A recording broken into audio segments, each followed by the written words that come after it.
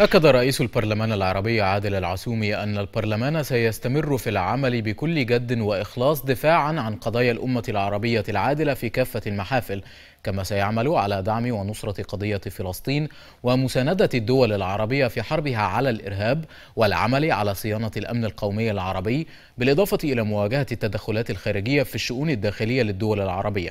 جاء ذلك في جلسة البرلمان العربي الإجرائية التي جرت اليوم في مقر الجامعة العربية وفاز فيها السيد عادل العسومي برئاسة البرلمان بالتزكية لمدة عامين كما جرى انتخاب أربعة نواب للعسومي البرلمان العربي سينتقل إلى مرحلة جديدة سيكون قريب من الجميع سيتعاون مع الجميع سيدعم الجميع.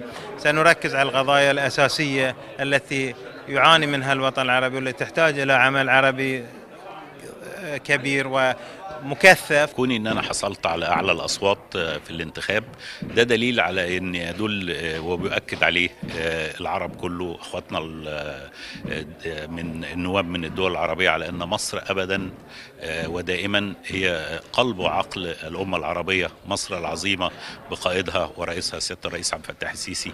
مصر العظيمة أيضا بشعبها العظيم بقواتها المسلحة بشرطتها الباسله مصر التي أصبحت رمانة الميزان فلذلك تم الاختيار. وده دليل على أن الأمة العربية جميعا تتوافق على أن يكون هناك مرشح مصري وهو النائب الأول لرئيس البرلمان. سنكون من أولى الملفات في البرلمان العربي للدعم للوصول إلى توافق للأطراف الليبية وإلى الانتقال إلى مراحل توحيد السلطات داخل دولة ليبيا وكذلك كثيرا من القضايا أو الملفات الأخرى في كافة الدول العربية.